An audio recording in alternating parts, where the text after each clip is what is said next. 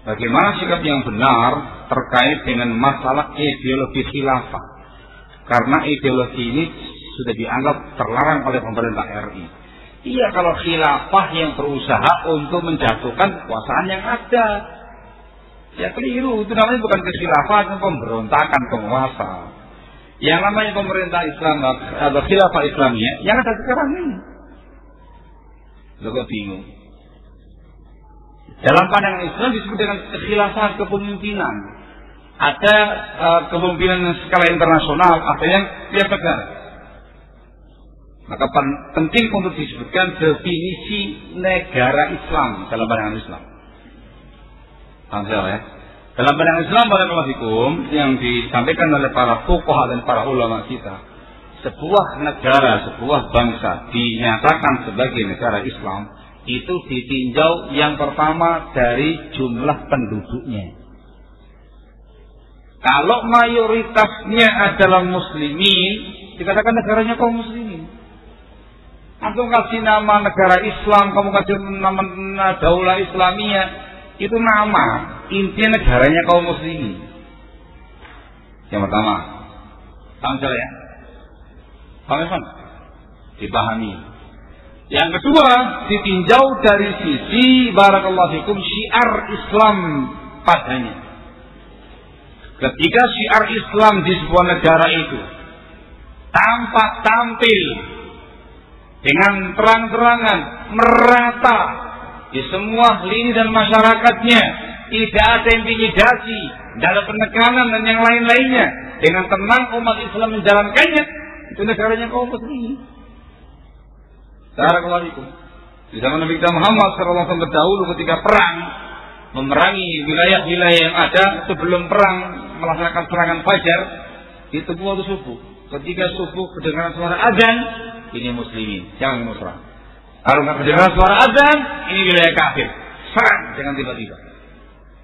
Jadi yang namanya azan syiar Islam.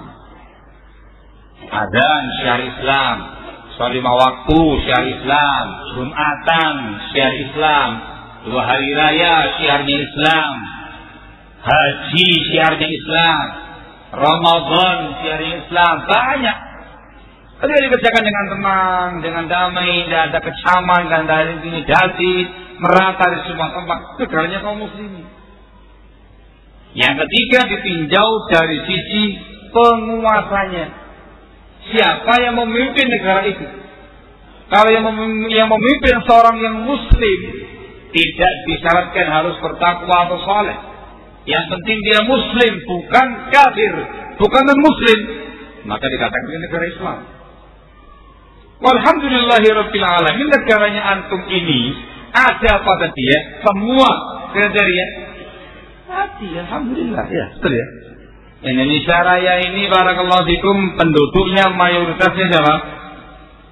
Kaum muslimin, jangan mengatakan 90 persen, malah mengalami penyusutan hingga 70 sekian persen, hati-hati. Nah, barakallahu fikum, tapi masih mayoritas.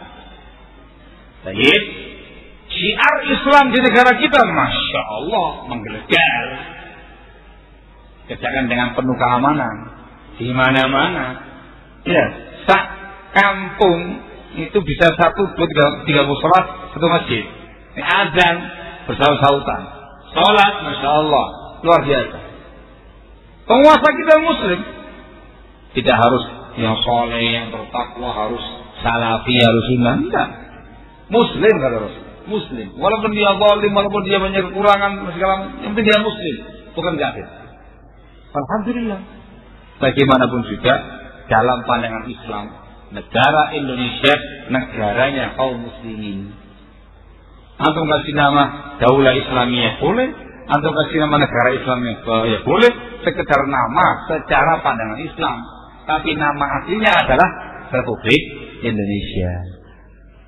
Paham ya? Fikum. Kalau udah begini ngapain antum teriak-teriak uh, membuat sebuah khilafah baru? Keblinger itu hanya bikin negara dalam negara pemberontakan syaratis namanya itu.